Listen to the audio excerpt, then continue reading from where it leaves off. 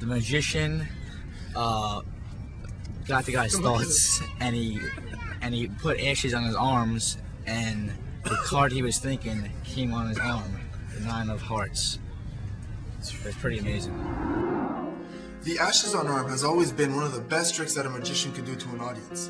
But for as long as the trick has existed, the revelation has always been on the magician's own arm. Imagine walking up to someone, having them think of someone's initials, a playing card, a number, and without going anywhere near them, you can have that thought revealed on their own arm.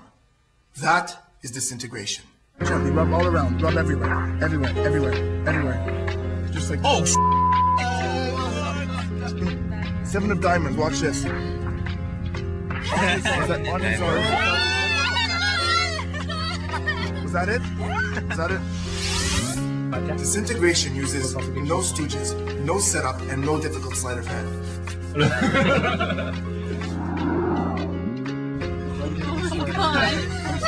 That's nuts.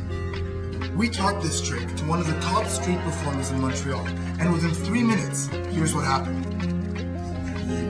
Were you thinking of the three of diamonds? Yeah, that's exactly it.